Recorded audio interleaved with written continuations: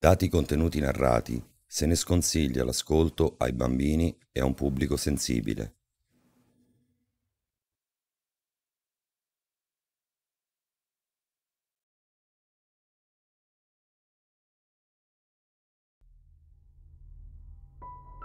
Sono uno psichiatra e l'altro giorno mi è capitato un caso che mi ha fatto correre un brivido gelido lungo la schiena.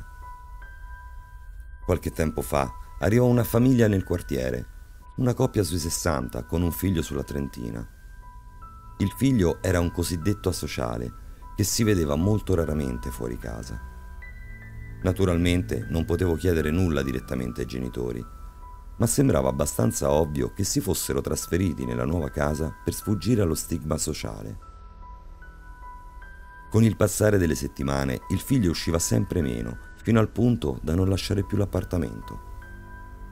Ora era diventato un completo sociale, chiuso costantemente nella sua camera. Ogni notte sentivo sua madre gridargli contro nella sua camera. Quando la incontravo casualmente, lei mi salutava con un sorriso ma aveva sempre un'aria pallida e tirata.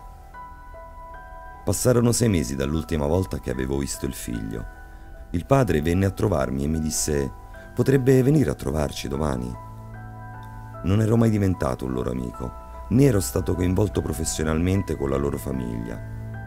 Ma come dottore e vicino di casa sentì il dovere di aiutarli ed accettai.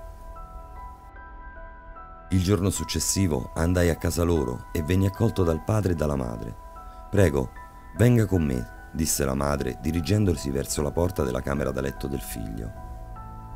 Di fronte alla porta, la madre gridò: Sto per aprire! Entrò e cominciò a urlare: Perché stai ancora dormendo? Tirati su! Tirò via di scatto le coperte dal letto e sotto di esse vidi qualcosa che mi lasciò incredulo e sconvolto.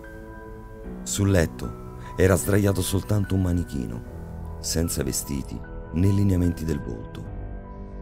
Fu a quel punto che il padre parlò. La persona che volevo vedesse è mia moglie. Non riesce ad accettare la realtà.